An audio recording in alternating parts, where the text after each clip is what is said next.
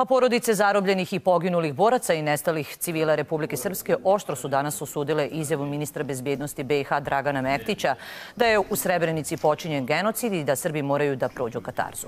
Istakli su da je to Mektićev lični stav i da takve izjave kao predstavnik Srba u institucijama BiH ne bi smio da iznosi. Jer polazimo od činjenice da se u Srebrenici desio ogroman zločin, ali polazimo i od činjenice da se u Srebrenici, Bratuncu, Zvorniku, Milićima, Vlasenici i Šekovićima desio i ogroman zločin nad Srbima tokom 1992. i početkom 1993. godine.